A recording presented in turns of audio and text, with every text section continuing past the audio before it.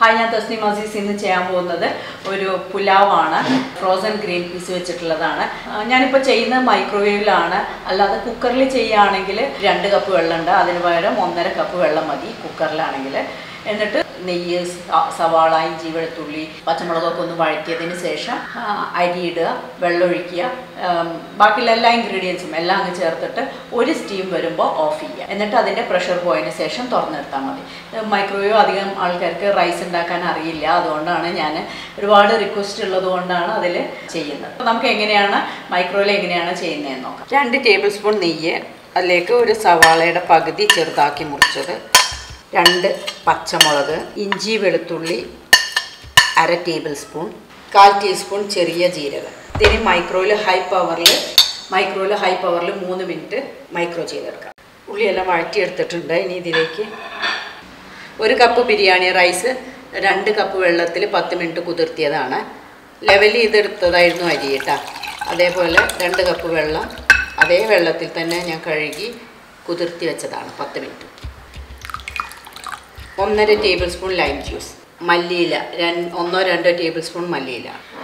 ഏലക്ക ഗ്രാമ്പു പട്ടയാണ് പട്ട രണ്ട് കഷ്ണം ഏലക്ക ഒന്നോ രണ്ടോ ഏലക്ക കുറച്ച് രണ്ട് മൂന്ന് ഗ്രാമ്പു.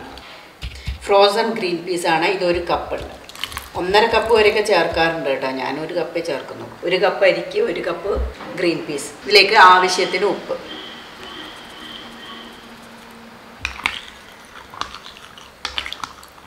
നന്നായിട്ടൊന്ന് ഇളക്കി കൊടുക്കുക. മൈക്രോ പ്രൂഫായിട്ടുള്ള ഒരു വിസിൽ വെച്ചിട്ട് തന്നെ നമ്മളത് കവർ ചെയ്യാം. ഇനി ഇത് ഹൈ പവറിൽ പതിമൂന്ന് മിനിറ്റ് മൈക്രോ ചെയ്യാം. നല്ല കറക്റ്റായിട്ട് കുക്കായിട്ടുണ്ട് വെള്ളമെല്ലാം വറ്റി വന്നിട്ടുണ്ട്. കുക്കറിൽ എങ്ങനെയാണ് ചെയ്യേണ്ടതെന്ന് ഞാൻ പറഞ്ഞിട്ടുണ്ടായിരുന്നു. നല്ല ഹെൽത്തി ആയിട്ടുള്ള നല്ലൊരു ഫ്ലേവറും വരുന്നുണ്ട്. നല്ല കുക്കായിട്ടുണ്ട് ഇതിപ്പോൾ ശരിക്കും പറഞ്ഞാൽ ഇതിനൊരു അച്ചാർ ഉം, പപ്പടമൊക്കെ ഉണ്ടെങ്കിൽ നമുക്ക് കഴിക്കാൻ പറ്റും. ഇഞ്ചി വെളുത്തുള്ളി നമ്മൾ ബിരിയാണി പോലെ എല്ലാം ഉണ്ട്. കണ്ട ചോറ് അരി ഒട്ടും അങ്ങോട്ടും ഇങ്ങോട്ടും ഒന്നും ഒട്ടിപ്പിടിക്കാതെ സെപ്പറേറ്റ് ആയിട്ട് ഉണ്ട്.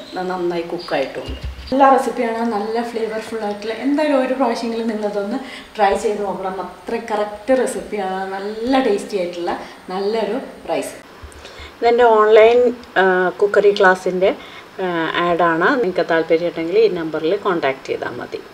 എല്ലാ ടൈപ്സ് ഓഫ് ക്ലാസ്സസും നടക്കുന്നുണ്ട്. വീഡിയോ ഇന്ററാക്റ്റീവ് ക്ലാസ്സാണ്